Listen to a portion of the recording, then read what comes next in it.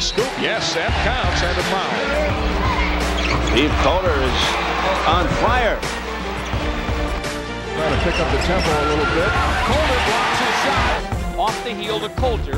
Washington in transition. Colter all the way down the lane of the hoop. He scooped and he scored off the glass. Chris shot clock at three. Colter's got to throw it in the air, and it found nothing but